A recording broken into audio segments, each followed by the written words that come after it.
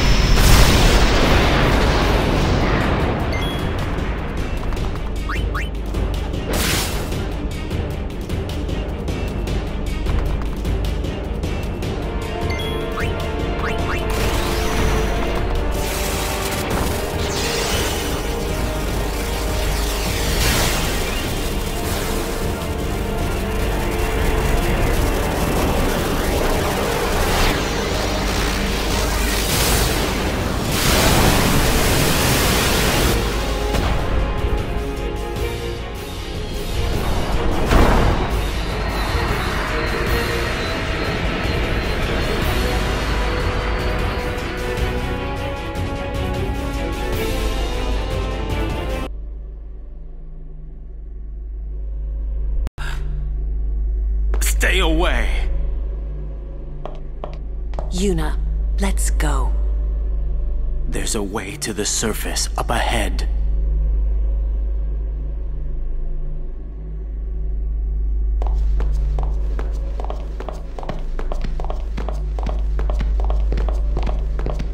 Your pilgrimage is over.